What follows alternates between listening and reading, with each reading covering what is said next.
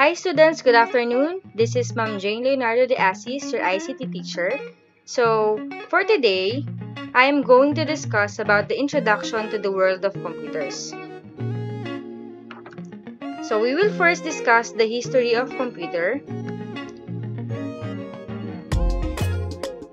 Hi Hi, guys! guys! Welcome back sa ating channel, DM Squad Vlogs. At if bago lang kayo dito sa ating YouTube channel, don't forget to like, share, and subscribe to our YouTube channel guys and hit the notification bell para laging updated sa mga bagong video uploads. In this educational video tutorial, we will feature how to screen record your lesson or presentation with narration using MS PowerPoint on your laptop or desktop. At hindi lang to limited sa MS PowerPoint. Pwede rin i-screen record ang ibang applications or activities na ginagawa mo sa iyong computer. We know that there are many screen recording apps commercially out there, but we want to share this because some users tend to disregard this powerful feature that MS PowerPoint has. Reminder, this feature works only on PCs running MS PowerPoint 2016 and up and updated versions of MS PowerPoint 2013. So, start na po tayo sa ating video tutorial. To record your computer screen with narration or audio using MS PowerPoint, do the following. So, first, open your PowerPoint presentation or lesson that you want to screen record. So, naready ko na po ito kanina. And then next is, create a new presentation by pressing Ctrl-N on your keyboard. So, bakit po tayo mag-create ng new presentation? Para dito ma-save yung video or yung screen record natin. And the next step is go to Insert tab and then click Screen Recording. So, i-minimize lang po muna natin yung PowerPoint presentation para makapag-focus tayo dito sa tinatawag na control dock na makikita dito sa top ng screen natin. Okay, so bago tayo mag-start mag-screen recording, explain ko po muna yung mga buttons na makikita nyo dito sa control dock. So, we have the record button, stop or pause button, select area button, audio button, and then yung record pointer button. So, dito tayo sa record button. When you click this button, it simply means that you want to start the recording. And then this one naman, um, kapag nag-start ka na ng recording, magkakaroon din dito ng uh, pause or stop button. Ang ibig sabihin ng pause button is to temporarily stop the recording. Yung stop button naman na pwede ninyong i-click kapag nag-record na kayo, ang ibig sabihin ay you want to end the recording. And then the third button in the control dock is yung select area button. So when you click the select area button, mapapansin niyo na magkakaroon ng cross-haired cursor or plus sign. Ang ibig sabihin nito ay uh, ready ka na para mag-select ng entire screen or portion of your screen na gusto mong i-screen record. Okay, so paano po natin gagawin yon? So, ang gagawin po natin ay i-click and drag lang natin mula doon sa upper left corner hanggang sa lower right corner ng ating screen para ma-select yung entire screen. Ibig sabihin, gusto natin na ma-screen record yung buong screen ng ating computer. Next naman is the audio button. So, ibig sabihin ng audio button ay gusto mo magkaroon ng voice-over or narration habang ikaw ay nag-screen record. And then the last button is yung record pointer. Ang gamit naman ito ay para mag-guide ka kung saang banda ka na ng screen habang nag-record. Okay, so habang nag-screen record, huwag kayong mag-alala dahil mawawala itong control dock kapag nag-start na tayo ng recording. Kapag press natin itong record button, automatic pong mawawala itong control dock. Kapag gusto na natin mag-stop ng recording, itapat nyo lang ang cursor ng mouse sa top ng screen, kagaya nito, and then automatic pong lalabas itong control dock. Now, let's start recording. Click na natin yung record button. So, pag click natin yung record button, there will be a 3-second countdown before the screen recording starts. So, ayan, ibig sabihin nag-start na yon. So, open na natin yung MS PowerPoint and then pwede na nating i-run yung presentation by pressing uh, F5 on your keyboard or click the slideshow button.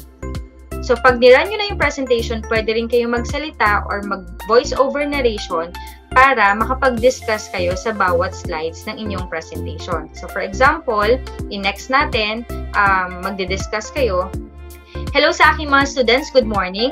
So our lesson for today is about the introduction to the world of computers. So ayan, nakapag-try na tayo mag-run ng slideshow at mag-screen record with narration or voice over. Kapag halimbawa tapos na kayo sa inyong presentation, ang next na gagawin ay um, itapat lang yung inyong cursor ng mouse doon sa um, top ng screen, sa bandang taas ng screen, at lalabas na ulit yung control dock. Pag lumabas na yung control dock, just click the stop button. Makikita ninyo na, render na or masisave na yung ating video or screen recording. So, tingnan, hanapin lang natin. Kasi nakaklik tong uh, slide na to kanina, kaya dito siya na-save. Pero pwede natin yung ilipat dun sa ating new presentation. So, i-click lang natin and then Control X. Tapos, balik tayo sa ating new presentation. And then, Control V or paste. Tapos, i-resize natin yan kasing laki ng ating slide. So, pwede nyo i-check or i-play back kung okay ba yung inyong screen recording or narration. So, pwede natin i-run yan by pressing F5, tapos i-click natin yung play.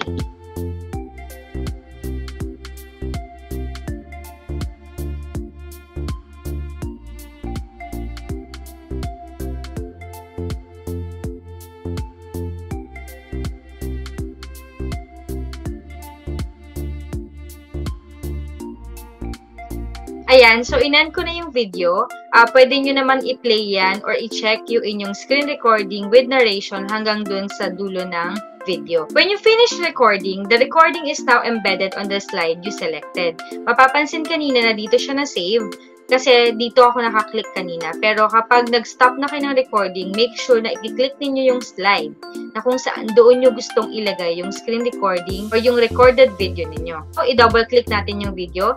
You can also put uh, video styles. You can change the corrections, color, poster frame, reset design, and then pwede kang mag-change uh, ng shape, video shape, video border, video effects. You can also use this feature kung kailangan. Pwede ka ring mag-crop at pwede kang mag-change ng size. But nasa sa inyo po yun kung gusto niyo pa ninyong maglagay ng styles or effects sa inyong video. Pwede nyo ring i-trim yung inyong video. Just right-click the video And then, may makikita kayo ditong options. Meron diyang style. Ito rin po yung kagaya ng pinakita ko kanina, yung video styles or parang frame. Then, dito naman sa start, pag pinili ninyo yung automatically, ibig sabihin ay, pag nirun yung slideshow, automatic po mag start agad yung video. And then, pag pinili natin yung on-click, ibig sabihin, kailangan nyo pang mag-click bago mag-start yung video. So, dito tayo sa trim. So, mapapansin po ninyo na merong green and red bars sa uh, unahan at dulo ng inyong video. Ang ibig sabihin po yan ay start and end time. Ibig sabihin, pag dinag mo to papunta sa kanan, doon mag start yung video. So, halimbawa yung unang part ay nag-run ka pa lang ng slideshow, pwede mo na pong i-trim or tanggalin yon. And then, kapag naman gusto mong tanggalin yung last part kung saan uh, ah, nag end ka ng video, pwede mo rin pong tanggalin or i-trim yung part na yon. Kapag okay ka na sa pag-trim ng video, just click OK. So, nag-trim tayo kaya na bago yung cover. Okay, ngayon naman, to save the recording as MP4 or video format, right-click the picture or video, and then click Save Media As. You can now change the file name. So, ilalagay natin ay Lesson 1 Intro, intro to Computers. To Computers. Ayan. So, hanapin ang location kung saan isi-save yung screen recording or yung video na ginawa ninyo. So, i-save lang natin halimbawa sa desktop and then click Save. That's it. Sana po ay natuto kayo at na-enjoy ninyo ang video tutorial na to. At sana ay magamit nating mga teachers ang tutorial na ito para sa new normal setup or online teaching. Thank you so much po.